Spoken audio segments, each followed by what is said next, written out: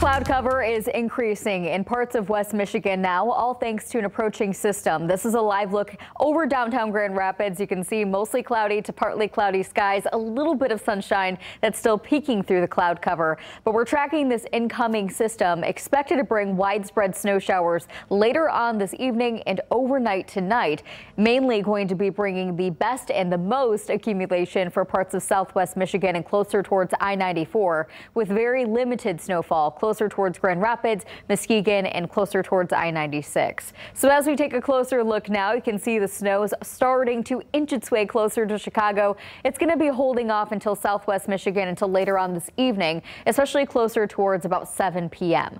Our temperatures currently, they're in the upper 20s to lower 30s, 26 degrees in Fremont, 29 degrees in Ionia, and 29 degrees currently in South Haven. Our day planner shows a high temperature today of 34 degrees with mostly cloudy skies skies. Temperatures will take a drop a little bit to 27 degrees by 7 p.m. with a chance of a few light flurries in Grand Rapids and the greater chance for widespread snow showers overnight tonight. Tonight's coldest temperature will be 20 degrees with winds from the west northwest between 5 to about 10 miles per hour. Winds are not expected to be quite gusty until tomorrow as we have a much larger colder air mass starting to build in. So taking a look at our future track, we're going to see the snow inching its way closer between 7 and 8 p.m. to southwest Michigan initially, gradually building up towards the north after midnight tonight and continuing throughout tomorrow morning, exiting West Michigan after 6 a.m. We're going to stay dry momentarily for the middle of Friday before lake effect snow starts to pick right back up